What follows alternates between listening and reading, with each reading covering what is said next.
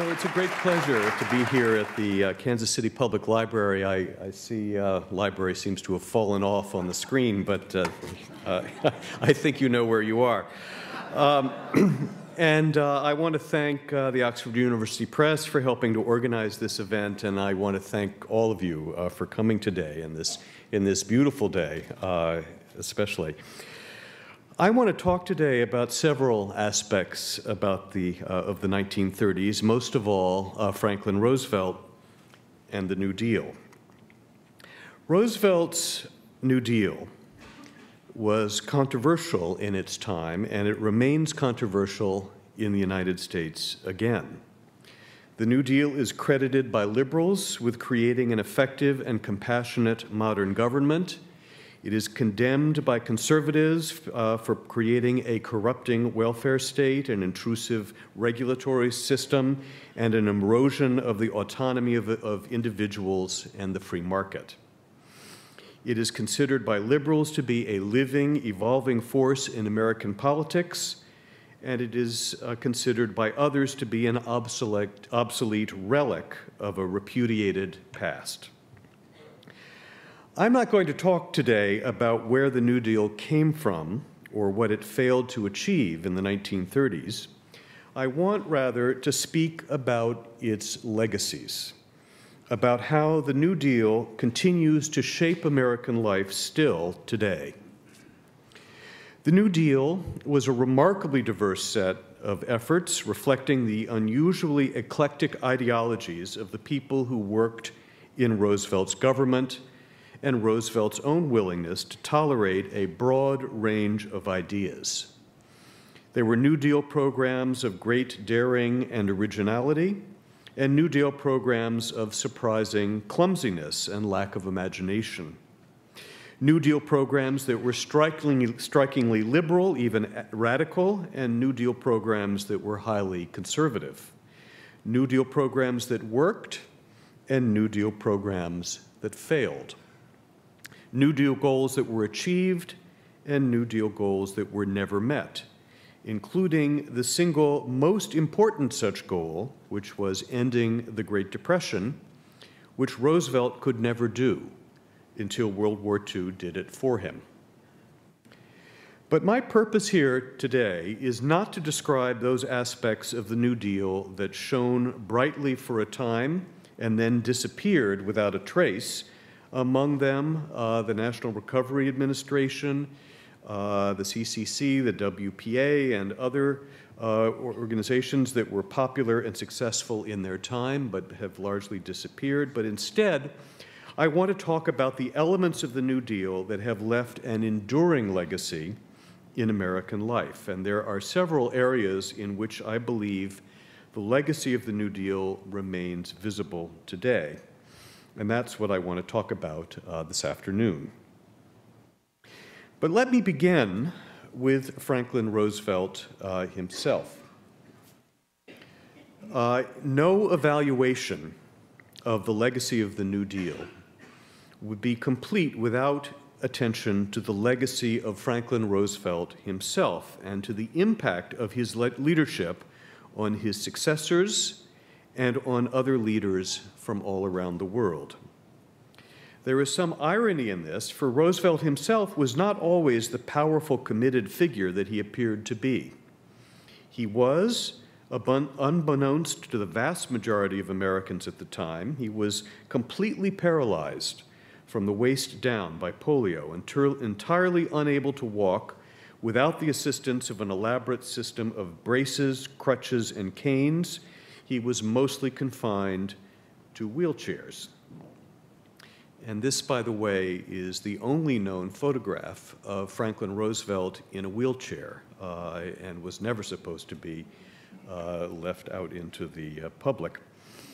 And during the last years of his life and his presidency, uh, Roosevelt was desperately ill, his condition concealed from all but a few of those who depended on him. Roosevelt was also a leader without strong convictions or principles, and he was often criticized, both at the time and since, for his apparent absence of conviction. He was, according to the historian Richard Hofstadter, he was content in large measure to follow public opinion and thus charted no clear path. He allowed the existing political landscape to dictate his course. The historian James MacGregor Burns lamented, uh, instead of reshaping the Democratic Party to serve his own purposes. Such complaints were common among Roosevelt's contemporaries as well, most of all among those who had invested the greatest hopes in him. There seemed to be something almost slippery about the man, with his eagerness to please everyone with whom he talked, with uh, his ability to persuade people expressing two opposing views and saying that he agreed with them both, with his tendency to allow seemingly contradictory initiatives to proceed simultaneously. Senator Huey Long of Louisiana once complained of Roosevelt. When I talk to him, he says, fine, fine, fine. But Joe Robinson, who was the Senate Senate Majority Leader and one of Long's ideological nemesis, Joe, Joe Robinson goes to see him the next day, and again he says, fine, fine, fine. Maybe he says fine to everybody. Henry Stimson, Roosevelt's Secretary of War from 1944 until the end of the war, uh, was const constantly frustrated by this enigmatic man, so much so that not long after Roosevelt died, Stimson privately expressed relief that in Harry Truman, the new president, he finally had someone willing to make a clear cut and unequivocal decision. Roosevelt's fundamentally political nature, his rejection of all but a few fixed principles, and his inclination to measure each decision against its likely popular reaction, that may have been a significant weakness, as some of his critics have claimed, or, as others would uh, say, his greatest strength, as others insist, insisted, but it was the essence of the man. And Roosevelt's ideological flexibility, frustrating as it may have been to those around him, was in fact one of his greatest strengths as a leader. For it was responsible for one of the New Deal's most conspicuous and, in my opinion, most valuable features its commitment to pragmatic experimentation. Roosevelt inherited a political world constricted in countless ways by fervently held principles on both the left and the right. Conservatives hewed on principle to the gold standard, to a balanced budget, to the sanctity of private contracts, to the obligation to protect capital, whatever the cost, and above all to the belief that the invisible hand of the market must be permitted to govern the affairs of society without any interference from the visible hand of the state. Some on the left embraced a hostility to capitalism itself and an insistence on punishing the wealthy. Into that ideologically constricted world, Roosevelt introduced a willingness to consider striking innovations, to cast aside deeply held inhibitions, to treat beliefs not as fixed and inviolable principles, but as things to be tested and, if necessary, revised or even repudiated. There were, of course, many things he could not do, some principles he would not abandon, some important new ideas he was slow to embrace or to which he was always resistant. But much of what was important about the New Deal was a result of the degree to which Franklin Roosevelt was open to what he liked to call the spirit of persistent experimentation. Critics and admirers alike have argued that the New Deal reflected nothing but pragmatic responses to immediate problems, that it was, as Hofstadter again uh, described, little more than a chaos of experimentation. One of Roosevelt's erstwhile advisors, Raymond Moley, wrote in a sour memory, memoir published after his falling out with the president, and he wrote in his book about Roosevelt to look upon these programs, meaning the New Deal programs, To, to look upon these programs as the result of a unified plan was to believe that the accumulation of stuffed snakes, baseball pictures, school flags, old tennis shoes, carpenter's tools, geometry books, and chemistry sets in a boy's bedroom could have been put there by an interior decorator.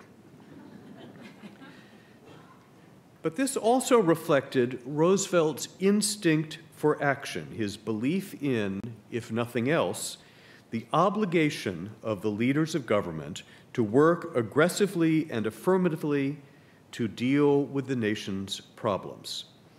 Take a method and try it, Roosevelt liked to say.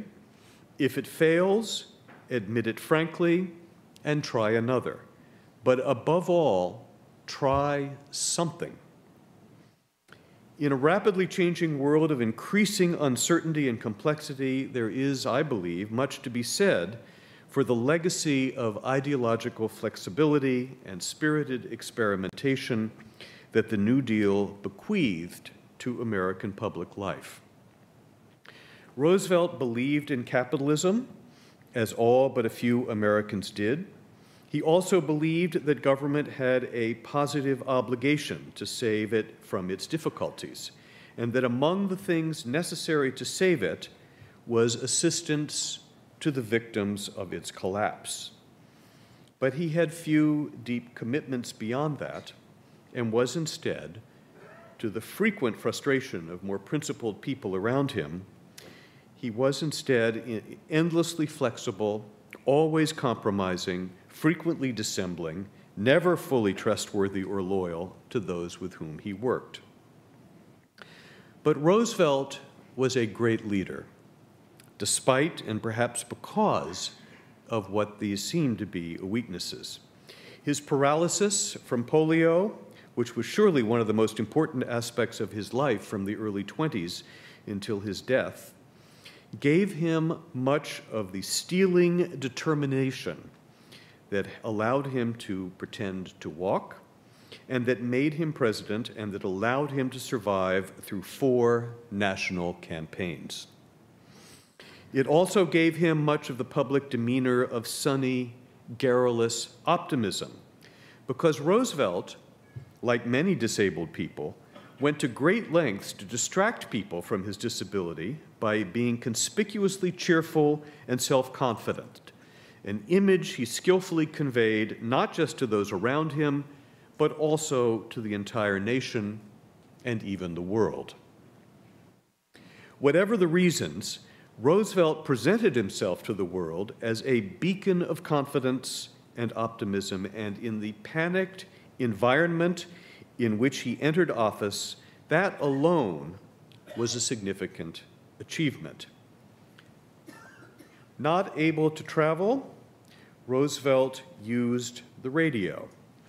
Uh, and there he is sitting uh, in the Oval Office uh, giving his weekly radio speech. The firm, confident voice, the smiling optimism, the cock of the head, the up tilted cigarette holder, the beaming smile, all of this meant Franklin Roosevelt. And all of this helped many desperate people to believe that there was hope in their leadership, that the leader of their nation was not just a bureaucrat, but a symbol of their highest aspirations. And that image has survived for almost 80 years as a potent model of presidential leadership that have shaped the view of many presidents since him. One of Roosevelt's important legacies is a political one the formation of a new and powerful national coalition of voters that made the Democratic Party, a weak minority party for nearly 40 years before Roosevelt's election, into the dominant party in the United States for several decades to come. The New Deal coalition, as it is known, no longer survives in anything like the form it assumed in the 1930s, and the Democratic Party no longer has the extraordinary dominance it had from the 1930s through the 1960s. But significant elements of that coalition remain important uh, to American political life still. Uh, and this is, at Rose, uh, this is Roosevelt uh, standing at the uh, Democratic Convention in 1932. The New Deal made the Democratic Party the preferred party for people of liberal or progressive or leftist inclinations in the United States, many of whom had previously considered the Republican Party, the party of Theodore Roosevelt and many other reformers who were more reliably progressive. But Franklin Roosevelt, uh, Theodore Roosevelt's distant cousin, drew away many of the Republican progressives, and in doing so, he helped create a broad coalition of progressives who created a core constituency of the Democratic Party almost ever since. The New Deal also helped create a strong and enduring alliance between the Democratic Party and organized labor, labor, which owed much of its economic strength to Roosevelt's New Deal labor legislation.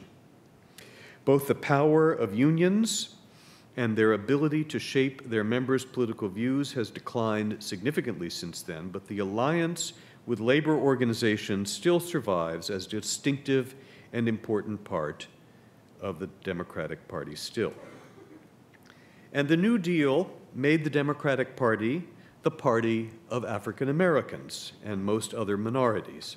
Black Americans were mostly Republican in the 70 years after the Civil War, a tribute to Lincoln and his party's connection with the abolition of, of slavery. But Roosevelt made African Americans into Democrats. That was not because the New Deal committed itself to the struggle among African Americans for civil rights in the 1930s. On the contrary, the Roosevelt administration was noble, notably timid about civil rights issues. But the New Deal did provide African Americans with desperately needed social services, and at times, at least, suggested a greater sympathy for their larger aspirations for equality than had most previous presidents. By 1936, over 90% of African Americans were voting for Roosevelt and the Democrats, and that hasn't changed very much since. But it wasn't simply Franklin Roosevelt's pragmatic effort to bring African Americans into the party, it was also Eleanor Roosevelt's commitment to helping African Americans to work for equality and justice. And this is a picture of uh, Eleanor Roosevelt uh, with Mary McLeod Bethune, who was one of the first uh, people to work within the White House as an African American. Together, these changes in the Democratic Party's constituency, along with its subsequent loss of some of its more conservative groups, most notably the withdrawal of white Southerners from the party beginning in the 1960s, the Democratic Party's constituency has contributed to making the Democratic Party consistently the more progressive of the two parties, and that remains true today, despite the continuing and successful efforts of many Democrats to move more to the center. Now, another way in which Roosevelt's New Deal has left an enduring legacy on modern America is in transforming the nation's physical landscape. Because the New Deal was among the most expansive and ambitious episodes in the construction of public works of any period in American history. The 1930s was, in fact, a period of great public works building in much of the industrial world, and particularly in, na in nations where there were strong governments attempting both to, to make progress against the Depression and create a physical image of and monument to themselves. And in that respect, the New Deal had something in common with Germany, Italy, and the Soviet Union in the 1930s, all of which were building remarkably uh, important uh, buildings and infrastructure. this is the Fort Peck Dam. uh, one of the, uh, one of the uh, biggest dam uh, ever made. Uh, this is a famous picture uh, by Margaret Bourke-White. this picture was on the first cover of Life magazine.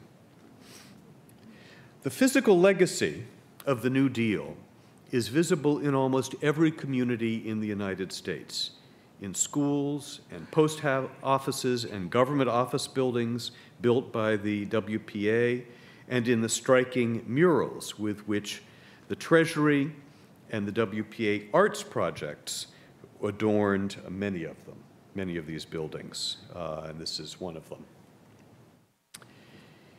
It is visible in the first major public housing projects in American history.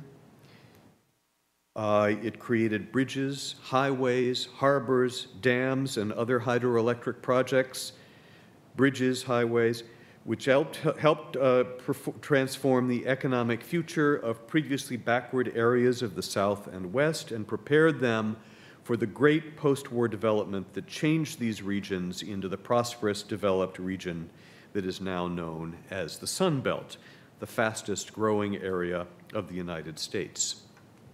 And the New Deal's legacy is visible in the connection of countless once isolated rural people to the modern world through electrification projects, especially uh, the REA that made it possible for them to begin living as most other 20th century Americans lived. And there is the one of the uh, famous posters of the Rural Electrification Administration.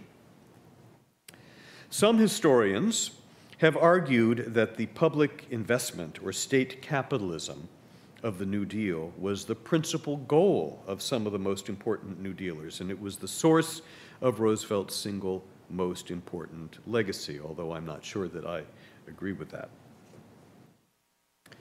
Almost certainly, the most conspicuous and controversial legacy of the New Deal is its contribution to the creation of the modern welfare state. And those contributions took several forms. In the 1930s, the New Deal was perhaps best known to unemployed Americans for its vast work relief programs through which the government created paying jobs, many of them on the public works programs that I've just described, to get men and some women back to work and to help families survive the crisis. Work relief was an, appearing, uh, an appealing temporary solution to the problem of unemployment because it addressed a clear and compelling need. And he did so in a way that seemed to preserve the principle that relief should be earned and that no one should receive something for nothing. But virtually none of the New Deal's relief programs survived World War II largely because the war produced so much demand for labor that it was hardly necessary any longer for the government to create jobs. But the experience of work relief did, however, one important lasting impact. It created a precedent for the still powerful assumption among most Americans that the government should assist them when they are in trouble. And while the government has not always responded effectively to those expectations, that expectation survives. The more enduring institutional contributions of the New Deal to the creation of the modern welfare state fall into two categories. One was the wide range of new programs and protections that have helped mostly middle class people mortgage protection for homes, and small farms, insurance of personal bank deposits, income tax deductions for interest on home mortgages, and many other economic benefits and protections that have provide increased security and opportunity for middle-class Americans. The other is the equally wide range of programs that have established the basic structure of the formal welfare state of the remainder of the 20th century and into the 21st. Unemployment insurance, pensions for the elderly, aid to the disabled, and perhaps most controversial, assistance to single mothers with children, all of them products of the Social Security Act of 1935 the single uh, most important piece of social welfare legislative uh, legislation in American history. Uh, and this is a uh, poster uh, that came out in 1935, the year that uh, the Social Security legislation uh, began, uh, and this is the, uh, one of the very first posters trying to tell people about Social Security. The, no deal, the New Deal welfare state created much of what social protection Americans uh, presently uh, receive. Uh, this is a early uh, poster uh, of unemployment compensation trying to explain it uh, to the unemployed. So the New Deal welfare state, as I said, created much of what social production, uh, protection Americans pres presently received. And some of those programs have been and have remained very successful. Most notably, unemployment insurance, something that's been particularly important uh, in the last few years, which has removed some of the desperation from the lives of men and women who were temporarily laid off from work. And old age pensions uh, through Social Security, which contributed to lifting millions of elderly Americans out of poverty and making them a group no longer the poorest group of Americans, but among the most affluent. But the New Deal also built into its welfare programs the long-standing distinction between the deserving and the undeserving, the so-called undeserving poor, which led to the provision of relatively generous benefits to those who could be said to have earned them or paid for them, and that includes veterans, workers and old people who have paid uh, for Social Security and who had made contributions to insurance programs. And then the much less generous benefits to those who simply needed them, and most notably single women with children whose benefits were never large, were always accompanied by intrusive screening recruitments. Since 1996, of course, the federal welfare program have moved in a very different direction, with benefits aimed at people who work more than, who work more than people who do not, thus helping to link the welfare system to the New Deal's earlier preoccupation with workfare and also helping to reduce the controversy around welfare. And then, in the later years of the New Deal, in the aftermath of a serious recession in 1937, and in response to the obstinacy of a depression that five years of New Deal efforts had failed to end. Franklin Roosevelt began experimenting with other approaches to economic policy uh, when the recession began, most notably with what was coming to be known as Keynesian uh, economics. Uh, and that's uh, John Maynard Keynes on the front page of Time magazine.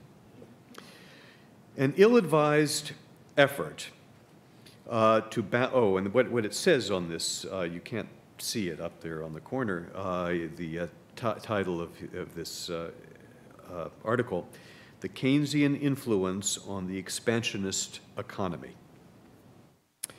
And again, an ill, advised effort to balance the budget by cutting government spending had appeared to precipitate the disastrous 1937 1938 recession. And in response uh, to the beginning of Keynesianism, a vigorous new program of spending and investment launched in early 1938 helped bring the economy back to at least limited life. And out of that partial success emerged the growing belief that government could influence the economy through its monetary and fiscal policies, through its control over the money supply and its ability to raise and lower spending, and taxation. To many younger New Dealers, the discovery of the power of these fiscal and monetary instruments was a revelation. It was, they now believed, possible to manage capitalism without managing the institutions of capitalism, to help the economy revive without engaging in the politically and bureaucratically difficult way of forcing capitalists to change their behavior. To the most exuberant Keynesians, this discovery seemed to mean that the greatest dilemma of the modern industrial world had been resolved, that the problem of monopoly, the problem that had preoccupied and frustrated generations, need no longer preoccupy modern society, that it would be possible to lead the way to economic growth not by focusing on producers, but by helping consumers, by pumping money into the hands of the millions of men and women who created the markets for what capitalists produced. The New Deal never fully embraced the Keynesian revolution, and indeed, no subsequent American government ever fully embraced it either. But however government not but however differently from its intentions, the New Deal did help create the belief that government not only had a responsibility to create or sustain prosperity, but that it could do so without intruding too directly into the affairs of the capitalist world. By the end of the 1930s, many economists were arguing that economic growth, not a redistribution of wealth or power, was the best route to freedom and empowerment. The government did not need to regulation to regulate production. It should rather find ways to encourage consumption the goal should be a rising standard of living for everyone, the lifting of workers and farmers and others on the margins of the modern economy and taking them out of poverty. Government policies would, therefore, not be primarily concerned with changing capitalism. Public policy would rather be principally concerned with compensating for capitalism's failures, stimulating the economy, uh, when the economy flagged, redistributing resources through various welfare mechanisms when the private economy failed. And a product of the new liberalism, which places and placed so much emphasis on the satisfaction of private desires and the fulfillment of individual aspirations, that was the growing post war commitment to civil rights and personal liberties the identification of liberalism with the search for racial justice and the empowerment of women and minorities, even the opening up of American culture to diverse and often divisive voices.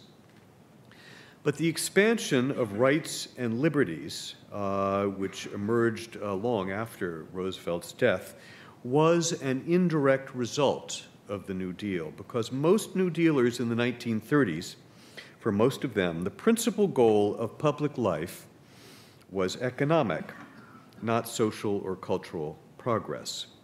The goals, and to some degree the result of the New Deal, were prosperity, growth, opportunity, and security. Those goals, they believed, not, were not only compatible, but critically interdependent. There's been much criticism of the new form of liberalism from both the left and the right. It is, it is, some critics have claimed, a morally barren creed, interested only in the material well being of citizens and incapable of creating in them the sense of community and civic commitment that many people believe a healthy democracy needs. But it, it, it is, but it is, others have argued, a liberalism that has abandoned the quest for a genuinely democratic society and has been content to allow, allow large corporate organizations to increase their power in exchange for the hollow, hollow uh, compensation of greater material comfort for individuals. So, uh, some recent critics would argue that consumption and population growth have created grave dangers to the future of the planet. Still others uh, argue that this liberalism, even in its indirect efforts to spur economic growth, was an interference with the free market, and there may be some justification for all these criticisms. In the aftermath of the New Deal, in other words, uh, ideas uh, from the right and from the left began to move in against what the New Deal uh, was doing in the 1930s. But despite our own current economic woes, when one looks at the history of the Western industrial world since the end of World War II. It is hard not to be astonished at the remarkable changes that occurred in the lives of ordinary people almost everywhere in post war America. The striking increases in standards of living throughout the Western world, the dramatic improvements in housing and diet, the great increase in leisure, and the rise of new forms of entertainment and comfort. This achievement has not solved all the world woes, to be sure, as the economic crisis of 2008 suggests, but I believe that the lifting of hundreds of millions of people out of poverty into affluence is one of the great, if still incomplete, feats of modern history. It is not, of course, an achievement that can be attributed solely or even largely to the New Deal or to the United States, but it is in part a product of the vision that Franklin Roosevelt and his government helped to legitimize uh, and a model of economic growth that is still relevant to our own troubled times. In the midst of the greatest economic crisis in the history of the industrial world. At a time of darkness and fear and growing despair, America and many other nations dared to dream of an economic future fueled by engaged and committed government in which prosperity could be universal, in which unemployment could be eliminated, in which the lives of ordinary people might be elevated and transformed. That not be only, or even the greatest aspiration one can imagine for a modern society, but it is an aspiration that helped to create the world we have come to know a world that is now in jeopardy in many ways, a world that I believe could use something similar to a New Deal and could use someone like Franklin Roosevelt to help us recover from our own current crisis and to move us forward to a new era of progress. Thank you very much.